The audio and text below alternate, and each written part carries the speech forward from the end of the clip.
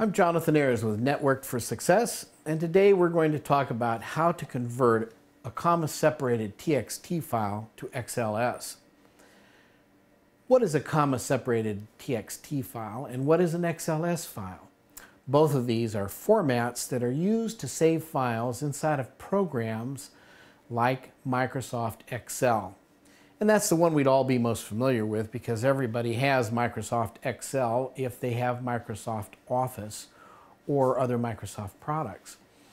Now, why would you want to convert a file from one format to another even though the program would read both? Well, a good reason might be that you'd be sending it to someone who had a program that could only read a comma separated TXT file or could only read an XLS file. So today we're going to show you how to convert a TXT file to an XLS file. And I have on the screen in front of me a simple text file inside of Microsoft Excel which is the program. And this file currently sits in a comma separated TXT format. Now it looks just normal to you as you look at the screen but what we're going to do is convert it to an XLS format to send to someone else and we'll see what that looks like. Let's find out how to do that.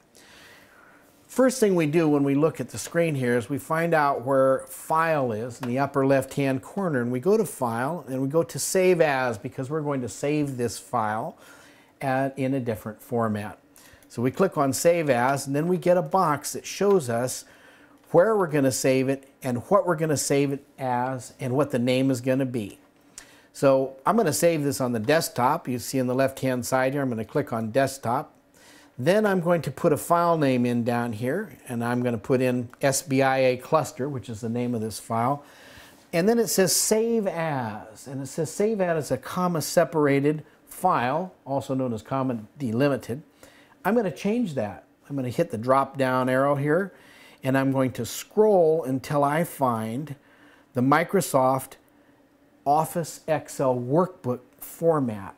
That is your .xls format.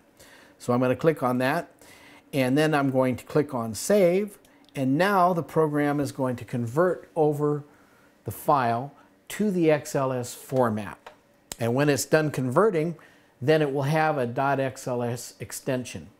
And even though you don't see that here, if you were to go back to File and click on Save As and do it again, you would notice that it says Save as Type because it has already changed the type. So that's the easy way to convert it. It's a very simple two or three step procedure and anyone can do it.